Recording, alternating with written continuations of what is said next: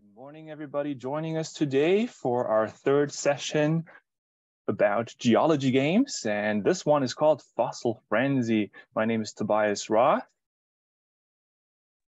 And my name is Ali McPhee. I'm a BSc student here at Laurentian. And before we start, we want to acknowledge that we are on the traditional lands on the, of the Atikameksheng Anishinaabeg at Laurentian University campus, Sudbury, Ontario and we extend our deepest respect to all Indigenous peoples of North America.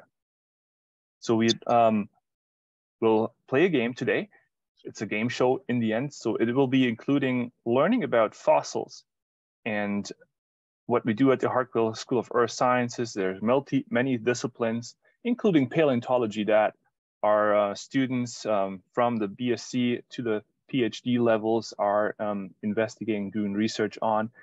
But in this teaching session, we want you to um, note all the different things. We'll do a recap at the end to tell you again about all the names that we've learned about. There will be some scientific names of fossils. And in the end, we will play a Kahoot. And in that Kahoot, you will be able to win one of our Minecraft inspired rock identification games that um, will be given or sent to the third top ranking players. Um, to play a Kahoot, um, what you will need to do is um, download the app if you have a device to do that. And if not, you can still play it if you go into um, a browser and type in this URL, Kahoot IT. So I've put it in the chat for everyone that um, you can access the game without actually signing up. You just have to uh, do a pin, write a pin in, and we'll do a test Kahoot in the um, beginning. So we will um, know how to do that. So our session today is all about fossils. And to start with, I want to show you a modern seashell. So this is something um, that is a gastropod. Um, the informal name is a snail. You see this as a modern seashell because it does include some organic materials. So all those uh, orange pigments would be um, a sign of that it actually not is a, it's not a fossil yet. If something is pulled out of the rock as a trace or a body fossil, then it will look rather like this, like this scene of different uh, fossils that had been laid down in some sediment and have been preserved for us to find. And um, the one, the biggest one I have, I will lift that uh, first is uh, one that can be found very close to Sudbury, Ontario. So we are um, close to this island called Manitoulin Island. And on that island, we can find these um, remnants of cephalopods. So kind of related to squid that um, used to have a shell and the shell has been preserved really well because shells are hard and do not decompose as organic matter does. So these are giant predators of the ancient seas on Earth that um, I will explain a few details about that a bit later when I'm using my microscope. So before we go um, into the detail about fossils, I do also want to mention that um, when organisms make their hard parts, they do um, make that out of calcium carbonate. And that is available in the sea. The calcium and the carbonate can be then put together as a mineral to make the shell of a organism uh, for it to protect itself. And that shell can be staying in fossil record for us to see later on. And that shell is usually made out of um, calcite or calcium carbonate or aragonite. All of them are actually calcium carbonate. So I'll demonstrate something to that effect later on. Um, in terms of research, on at our school, Harquail School of Earth Sciences at Laurentian University campus, um, we have um, a professor, Dr. Elizabeth Coral Turner. Um, she's our paleontology professor. And uh, have you taken any courses with Dr. Turner? I have actually. So last year I got the chance to take paleobiology with Dr. Turner, and there we learned all about marine life um, because even though you know you always think of fossils as dinosaurs really the, the true uh, most important fossils are the marine life that we see today, which is what we're going to be talking about for most of um, the webinar because they are truly really important, um, especially um, because that is where most of the animals we see today evolved from. Um, especially because the ocean also holds a lot of oxygen, and that is where a lot of the first rocks are. And yeah, it was a really interesting course, and she did a really awesome job teaching it. Um, and yeah, it was it was really cool, really really cool. Thank you, Ali. And to that effect, we have actually um, um, a find from just last year. Dr. Turner had possibly discovered the oldest animal fossil in the world. It was big in the news last year.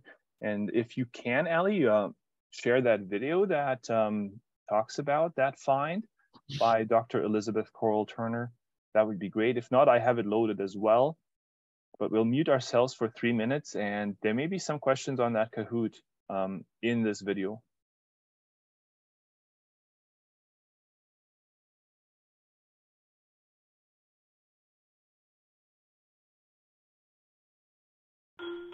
These wiggly lines could be the oldest fossil animal ever discovered.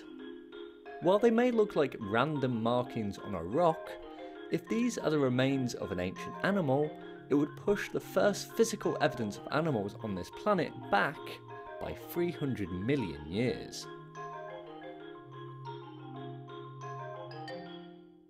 Animals are multicellular eukaryotes, complicated life forms that consume organic material, breathe oxygen, and live now as the varied and complex creatures we see all around us. But their earliest ancestors likely started small and kept things pretty basic. They might have even been a sponge. Okay, not quite like that, but sea sponges are a kind of organism still in existence today whose close relatives are a good candidate for early animals. That's because they have simple body plans, essentially tube like structures that filter feed, and they have relatively few types of cell. But determining if sponges were the first kind of animal has been tricky. The earliest fossils that scientists are relatively sure are animals come from around 550 million years ago, just before the Cambrian explosion. Older fossils have been quite contentious, as it's hard to work out what's an animal and what's not. The new find would push back the first evidence of animals by 300 million years. The unusual patterns were found in the Northwest Territories in Canada. One argument that this really is an ancient fossil animal is the complex branching structure, similar to some modern sponges. Not everyone is in agreement though. It's possible the patterns could have been made by bacterial mats. It would have also been difficult for animals to survive 890 million years ago. This was a time with very little oxygen. But the fossil was found intermeshed with bacterial structures, so the organism could have lived in close proximity with photosynthesizing bacteria in little oxygen rich oases. The fossil also looked very similar to more recent fossils from around 500 million years ago that are also believed to be ancient sponges. If this really is evidence of an 890 million year old animal, it would have survived through massive climatic changes, including an extreme cold period some call Snowball Earth. While there is a debate about the fossil's animal nature, if true, it could give us a new understanding of how our ancestors formed almost a billion years ago.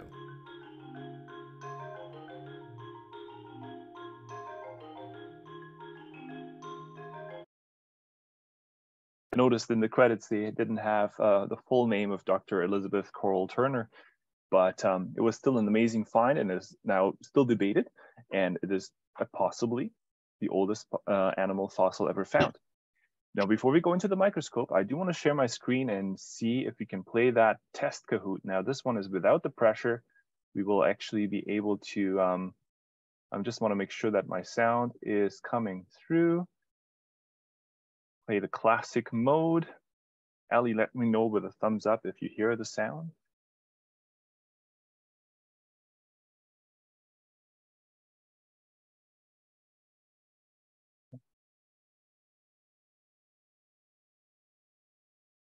Okay, we'll keep the same pin, but uh, this time I'll do it with the sound.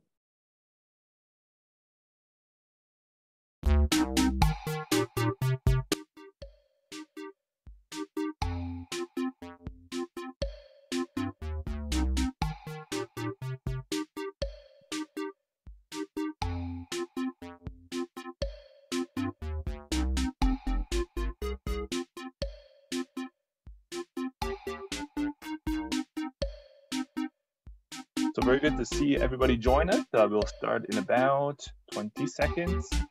In our Kahoots, we typically have um, pictures. When the question appears, you'll read the question first, and then you'll see a picture, and you'll choose one of the four options. Sometimes it's only two options, true or false.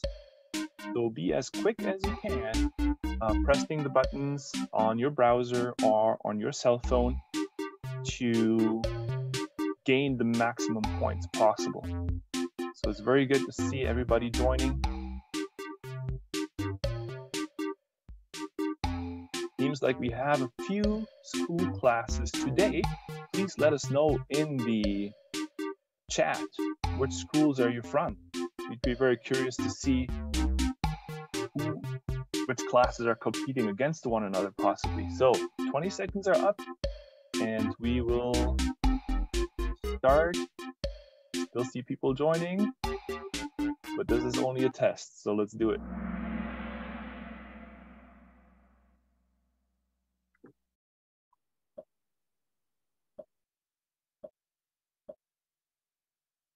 First question, which province is Sudbury located in?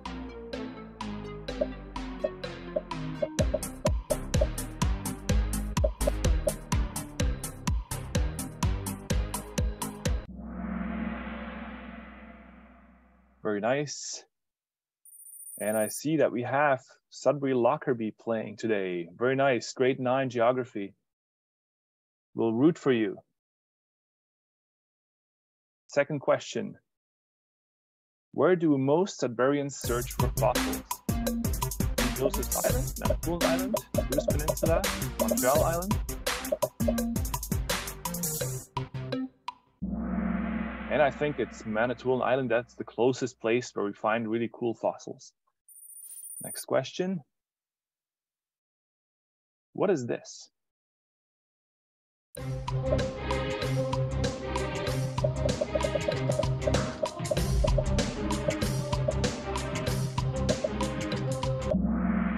Big nickel is the correct answer. And let's see who gets that podium. This is only a a make believe win because you don't actually win anything yet. Oh gosh, forgot the last question. You want to win one of these boxes.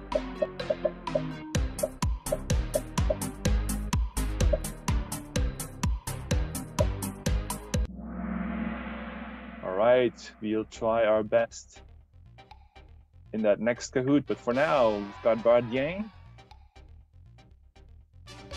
Max. And Sadie, congratulations for that first trial win. And uh, we'll go, we're gonna unshare this and do a microscope share for now, because we'll actually talk about what actually made that that all that oxygen that uh, we now breathe, because it didn't, it wasn't really like that when those first possible animals were discovered by um, and we actually have this oxygen because of some other organisms that I'm just trying to find the correct screen here. Strange. Uh, do you see um, fossil, Ali? Thumbs up or thumbs down? Oh, well, okay think I, I think I know what my technical issue is. I have to escape, press escape. It should be working now. Thumbs up, no? Mm, it's uh just saying that the screen is sharing. It's not really showing anything. Okay. That's okay. I can talk a little bit about. I'll fix this in the meantime. Yeah. So basically, um, what's really cool is I actually had Tobias for my um, geology, my first year geology lab, which was, he was a great introduction to that because it was really scary coming into university. And I was like, whoa, what is a lab? I have to hand in something at the end of this period. Really not fun. Um, but it was a great opportunity to truly learn um, about everything, you know, geology pretty much.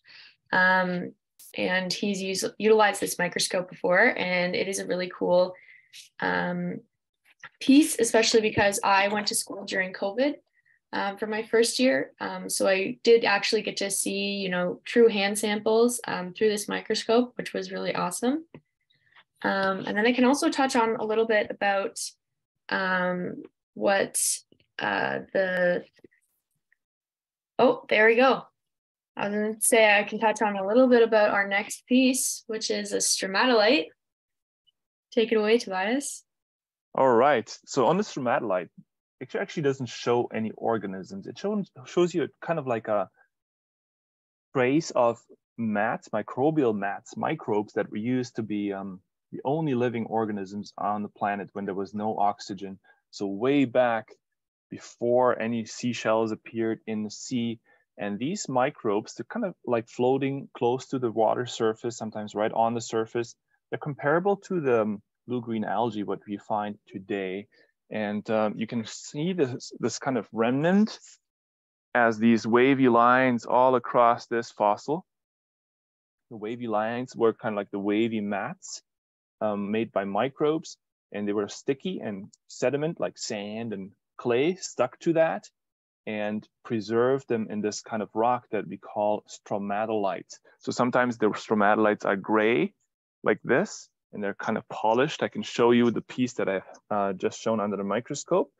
It is found uh, on Highway 17, close to Thunder Bay. And I know that there's a couple of people here from the Thunder Bay area. It would be really cool to actually investigate the outcrop where this was found. Um, it is um, close to Thunder Bay on Highway 17, Nipigon Road outcrop. Would love to go there one day, and it's actually um, confirmed in one of the textbooks. You see the same kind of stromatolite from that Nipigon area, Thunder Bay, um, that made the oxygen. So this kind of microbes, they were photosynthesizing oxygen, um, creating a buildup of oxygen so animals can evolve further. Um, you can actually still find stromatolites nowadays, like this uh, person is standing next to one of them in a very salty part of um, the uh, north of Perth in Australia. There, they can still actually survive without being, being eaten because there are many, many um, snails and other organisms that actually eat these away. So stromatolites can also look like this, but if you ever think you find one, look for these wavy lines. That is a sign for it being a um, remnant of some blue-green algae from the ancient past. So of course, we now have had a lot of evolution happening and we've got these really amazing creatures found in the sea, like this sand dollar. It actually is filled with sand. You can still, it's kind of heavy. And um, it is uh, kind of related to the sea urchins and also to some organisms that made these hockey puck type shapes. So they're actually these uh, uh, stems that when they break, they fall into pieces that look like hockey pucks. And we call these crinoids that um, have been living in the ancient past and also are animals, even though some people think they are plants because they look like a bush kind of. They are animals living on the ocean floor. So I'll mention crinoids again later on, but let's look at some really good comparisons of, um, of rocks. So the first thing I've shown you was um, the seashell that has pigments on it. It's still organic material, not really a fossil yet. So these seashells can actually um, become less rich in those pigments. So this one is kind of like brown. And another one that was pulled right from the rock does not have any more pigments and it is kind of filled with rocky material and minerals. This all is snails, or in scientific terms, we call them gastropods. I will um, show all those words. Now, in the geologic history, we've also had a lot of evolution of um, colonial organisms. So let's peel our eyes to these number two, no, number three and four. So you have um, number three, that's a solitary coral. I have a few right here as well. So if they're kind of loose out of the rock, they look like this. And each one of these um, bigger areas, uh, surfaces were inhabited by one of the organisms that is a polyp, so a coral that um, everyone had their own house kind of. But sometimes they were living in a colony, and this one is the so-called honeycomb coral that you can find very commonly on Manitoulin Island. It is um, a colony, just like the one you see under the microscope. They're kind of honeycomb shaped, and they are a bit larger than a millimeter. So those any one of those um, holes, like the caves that these organisms were living in, um, were larger than a millimeter. But right next to it, you can probably tell that where my pen is showing right now, there's also some holes there. So let's zoom into that. That is an organism that often is confused with corals. But the rule of thumb that we um, teach is that if the holes are smaller than a millimeter, then it is a so-called bryozoan. So let me show you those first few words that I've uh, mentioned so far. That will set us up for success in the Kahoot because we will actually read all these um, words um, in that in those multiple choices. So we've got a solitary coral. Uh, it's a carnivore, but it has its own house. But in the colony, you've got many houses stuck together as um, these honeycombs. So all of these are corals. You don't have to remember the phylum, all that Latin is not so much fun, but let's look at the gastropods that I mentioned before. So we've got these snails. So they can be flat or they can be like a turret, like a tower. Uh, they are always uh, curled up. And they actually, if you were small enough, to go inside of one of these shells, you can actually go right to the center because there would be any there wouldn't be any wall separating um, you. And I can demonstrate that with this piece here. So you can see this one's kind of cracked. And if you were small enough, you can actually go and walk into the tunnel right down to the center of this gastropod or this snail.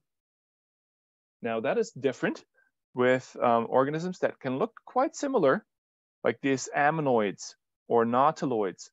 Uh, these are the relatives of squids. You can kind of see like a squid creature uh, coming out of there. And um, they used to be um, like these conical, elongated shapes that with a bit of luck you can find on Manitoulin Island, some really large ones, top carnivores of the ancient seas. But there's only a few of these squid that still have shells. And believe it or not, there's actually a way of finding a nautiloid shell in Minecraft. I just learned that today. So this is the real nautiloid shell. This is one of those uh, cephalopods that um, can um, that are curled up, look like a snail, but they're not because what you, when you look inside, there are all these separations. So all these walls that prevent you from going right into the center. So this was cut. It's a very delicate part of the reason why I'm wearing gloves. Um, and it's very rare to find it uh, a, a nautiloid shell, even in Minecraft, of course. But try your luck. Now, this is again a fossil that can be easily confused with um, snails. So look at the walls. If it has walls, then it's um, cephalopod or an ammonite. Or if it does not have walls, then it's a gastropod or a snail. So try to remember that. I'll put away this stuff. We'll talk about a few more fossils before we play that Kahoot. Because we only have five more minutes. So um, Ali, do you want to talk about this fossil here? So it's a trilobite. And we've got one from the Burgess Shale right here. Yeah. So these were so... donated by the um, Royal Ontario Museum. So we have them in our uh, display case. So I took them out for just for this purpose. Yeah, so um, basically trilobites are now extinct arthropods. They first appeared in the Cambrian period and were one of the most dominant forms of um, marine life in the sea. They can be really itty bitty and then they can be huge, like ginormous. Um, they are one of the oldest arthropods and they have many different orders uh, of them, which separates them based on how many thoracic segments they have, which the thoracic segments are um, the little lines in between leaning up to the head. Um, their size, so like I said, they could be really small, they could be humongous. Um, whether they have eyes, because some trilobites actually don't have eyes and some do. Um, how big their head is compared to their body. So some of them can have really, really big heads, and some of them can have like small bodies, so they can look a little weird. Um, and much more. And a fun fact about these guys is that they are actually closely related to horseshoe crabs, um, which we can see on beaches today. Um, and another fun fact is that um, we have a master's student that's actually working on some trilobites with Dr. Turner. So, yeah. Very good, Ali. So um, I will um, show just a few more things before we go into, into that final Kahoot. So under my microscope right now, is one of those uh, remnants of a um, cephalopod. So you can see that it has walls internally just by these uh, suture patterns that you see on the side. It's very intricate patterns. And if I zoom in all the way, you kind of see it more clearly. And then we have a few modes of preservation. So there's different ways of um, animals actually getting trapped in sediment. So if you have a whole body fossil like this ammonite, it's a body fossil, it's the whole thing, or that trilobite that um, Ali explains really well. Now, the um, ones that are not so complete are um, sometimes a mold or a cast, but um, very importantly, sometimes if you go to Manitoulin Island, you will actually want to test if you have a fossil by using acid. Another reason why I'm wearing gloves, because if it is made out of calcite, it is actually a um, pretty much the or original material still, still, and that calcite will fizz with the acid.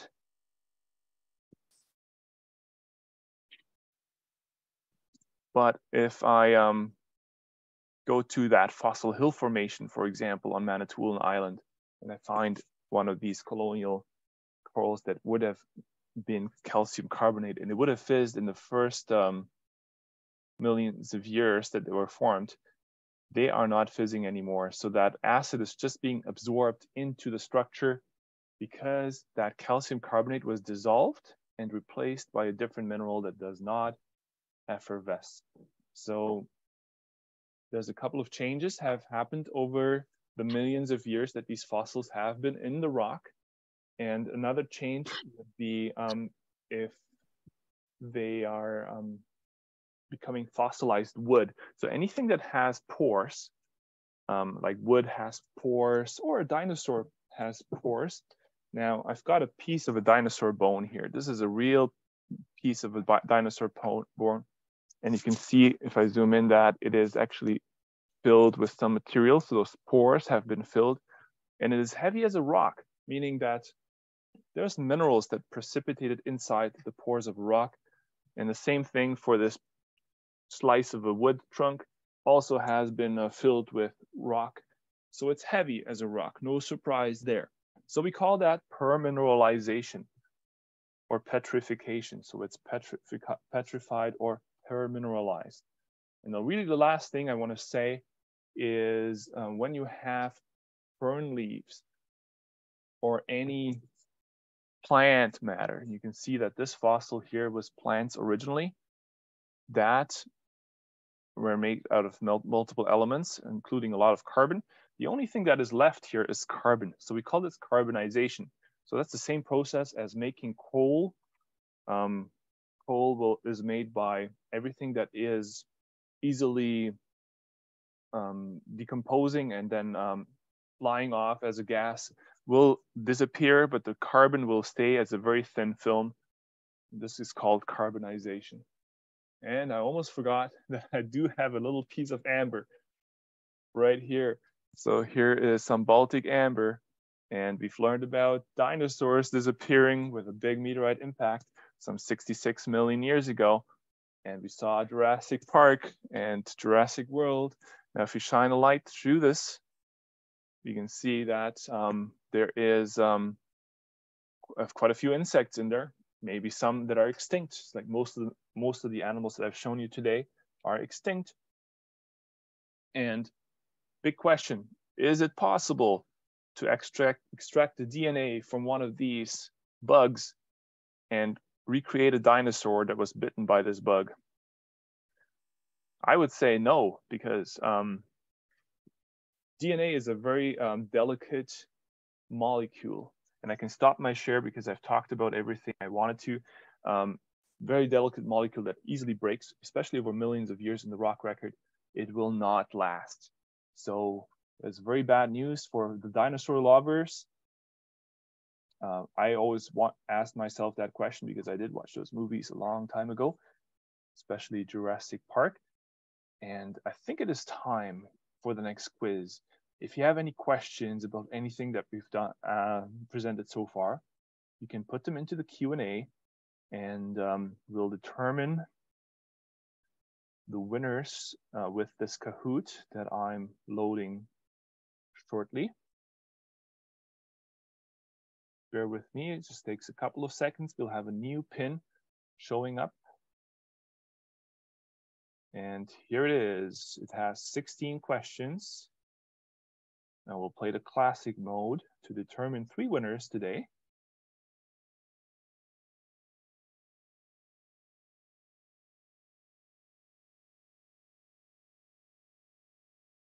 And while it's loading,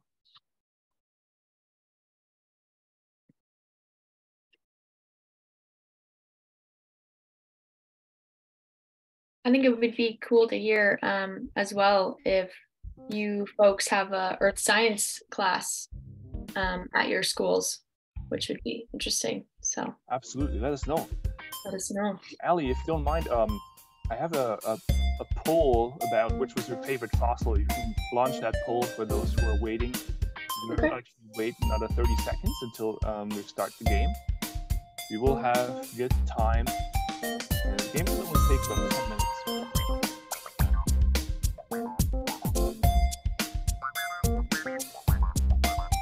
So in the polls, you'll see that, yeah,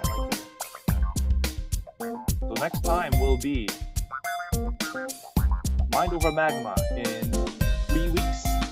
And in four weeks, we'll play the Sedimentary Special. And in about six weeks, we'll play Under Pressure. And maybe we'll continue the series of geology games because we're making more of these Minecraft-inspired rock identification games. As long as the fun lasts and the learning lasts, we'll be happy to keep going. We'll end the poll. Everybody wants to actually learn and play, which is great to see.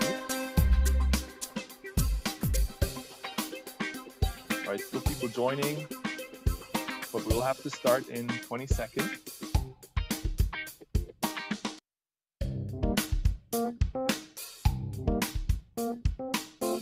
I don't know, Russell. I don't know the answer to foxfire, fluorescent wood.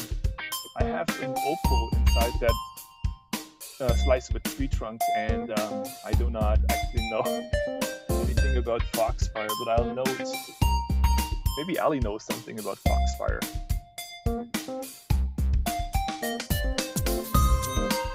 Right, we do have to start in the interest of time. And off you go. Good luck, everybody.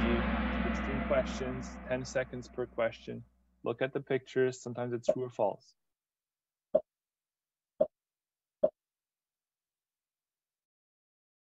Which organisms makes stromatolites?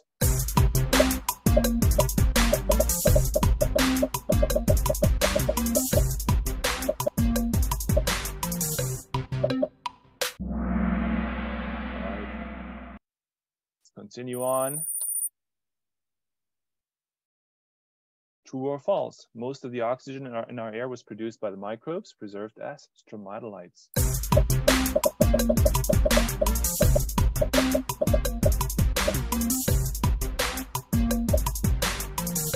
Yes, it's true. And there was actually a chance. There was a publication just last year, if you check our Instagram, about volcanoes pushing out some of that oxygen as well, um, almost 2 billion years ago. So let's look at um, what is the name of Laurentian University's paleontology professor?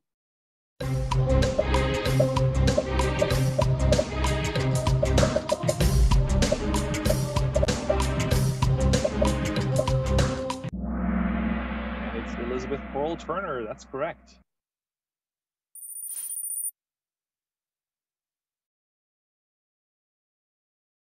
What is this body fossil? Look closely. Smaller than a millimeter holes.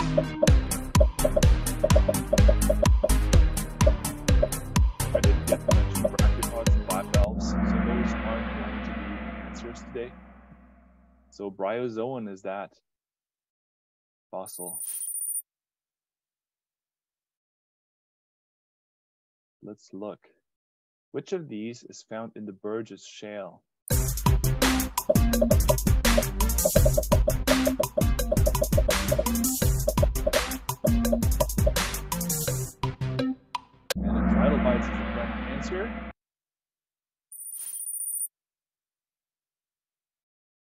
look at the next one. How long ago was the end Cretaceous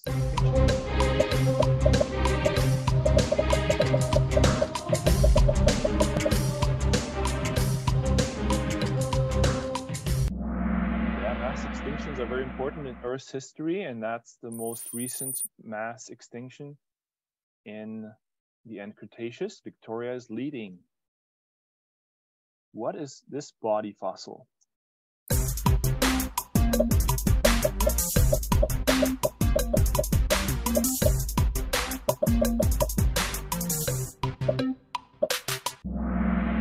Coral is correct. Very good.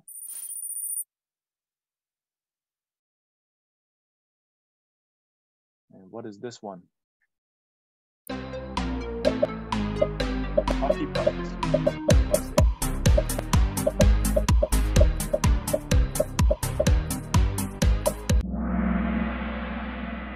Crinoid is correct.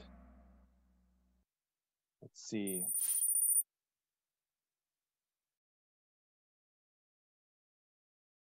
Which of these is not a cephalopod? Living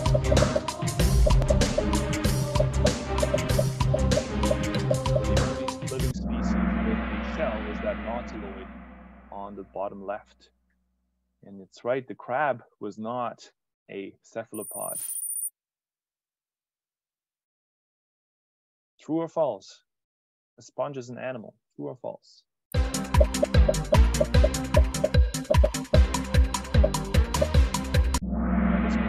Five seconds long, but you know it. It's false. Uh, sorry, it's true.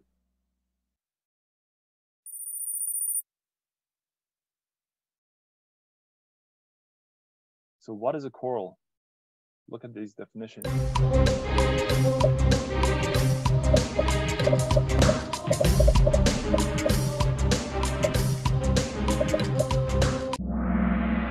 Yes, it's a marine invertebrate. Lives in the sea.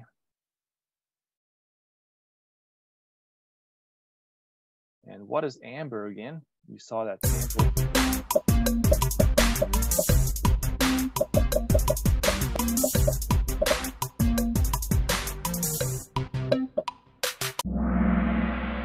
Petrified tree sap would be the correct answer.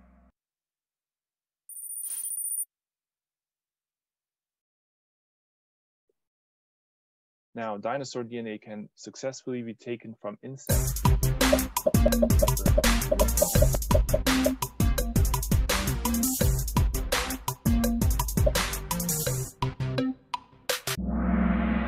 would be false. Let's see how many questions. Three more. So what is our MSc student William Scott's expertise?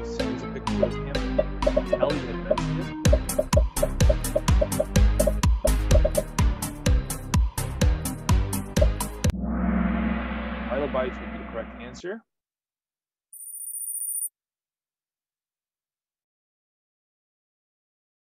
So what are both of these fossils? Number three and number four. Keep your eyes on that picture.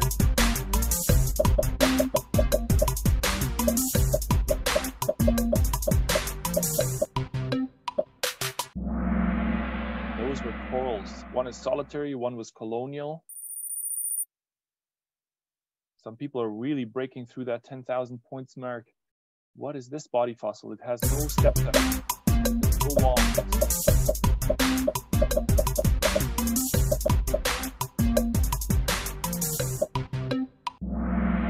So gastropod, snail, exactly. And we've got the podium already. Let's see, number three, Hayden, I need your address to mail one of these boxes to you. And Frank, you as well, so please send me an email. I'll type out my email address shortly. And if not, Victoria, wow, you're, you're the winner with 13,948. So if anybody of the winners don't want the box, we do know the runners up. Just let us know if you don't want it, don't give it to the runners up. And if not, you can still win one of these games in the next round, which is in exactly three weeks from now, 10 o'clock. Invite other school classes to come on, play this game. You'll uh, turn off the sound for a second. And all your friends and family who want to learn about geology, want to play the game, uh, keep this going. Please join us next time as well. All our dates are listed on our outreach page, and we'll type in our um, email address into the chat. See if you have any more questions in the Q&A. We'll be happy to answer those in the remaining three minutes. So I'm just going to type in my um, email address. And uh, Ali, do you want to say something else? Um, I don't know. Um, we love feedback, so let us know what we can do better um, through emails or just by you know typing in the Q and A. I think Laurentian's a really great school to come for for geology. Um, last year, I got the opportunity to go to Nunavut um, in the summer for my summer job, which was really really cool. And so you know, if you choose to come in Laurentian, come to Laurentian in the next following years you know you can be introduced to so many different opportunities like that um, and the Harquail school club is also really a fun activity we get the chance to go to pdac this year which is really really exciting pdac is prospectors um, what stands for prospectors and developers association conference i believe um, and yeah it's a it's a really cool experience to network and get to know all of that. Um, yeah, it's it's I've learned a lot in the past few um, years, and yeah, really exciting. Thank you so much, Ali. Great to have you here with us. Um, maybe one last note: we do have a Laurentian open house coming up on Saturday, March 11th, from 10 o'clock to 3 o'clock. Please check us out. Come here on our tours. You'll see any one of these uh, samples that I've shown in our display cases. Uh, we have our display cases on the eighth floor of the Willet Green Miller Center. Pay us a visit on that um, Laurentian open house. Our first tour is at 10.30 in the morning on that Saturday. Uh, if you make it in time to the Parker building, you will be able to go visit um, any of our facilities. So thank you everybody for the participation and please join us again next time. If you haven't won it please email the winners please email me um, your address so we know where to send this boxes. So the three winners on the podium. Thank you everybody. Thank you ali i'll see you next time. Thank you